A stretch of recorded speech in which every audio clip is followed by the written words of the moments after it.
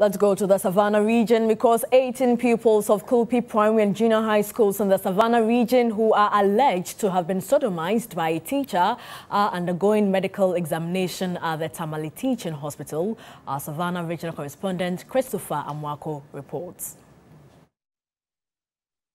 The MP for Salaga South, Hajia Zuwera Ibrahimah, together with an NGO developing Case Ghana, have come in to support after the parents and guardians of the alleged victims said they did not have money to foot the medical examination bills at the Tamale Teaching Hospital. When they arrived at the Tamale Teaching Hospital, they were taken through uh, some counseling by medical officials as they await the physical examination to be conducted on them. Families of the victims have been interacting with uh, TV3 and their hope is that within the next few days, the medical examination would have been conducted and reports submitted to the Ghana Police Service for them to continue with their investigation.